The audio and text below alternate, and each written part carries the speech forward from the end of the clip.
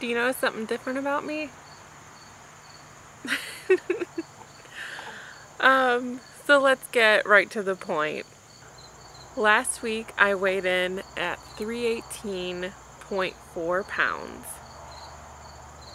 That was 2.8 pounds away from 50 pounds lost total. This week I weighed in at 315 even. I lost 3.4 pounds, which puts me at 50.6 pounds lost.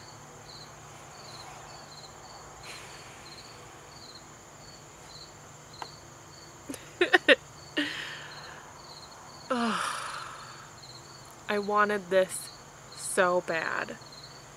And I was absolutely convinced that it wasn't going to happen this week. But I pushed myself anyway because I knew it would happen eventually. And I wanted to make sure that I deserved it when it happened. I earned this. I have no problem saying that I earned this. This is the best weight loss I have ever had to date, and I know it's just the beginning.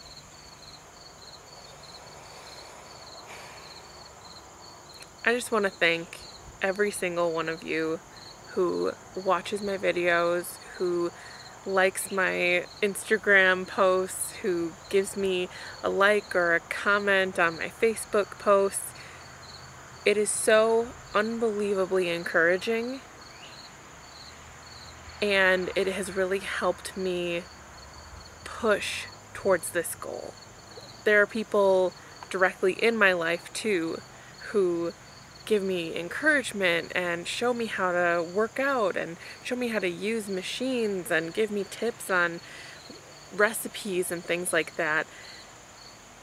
This weight loss would not be possible without this amazing community that you're a part of. And I just want to thank you so much. It means the world to me, and it is changing my life.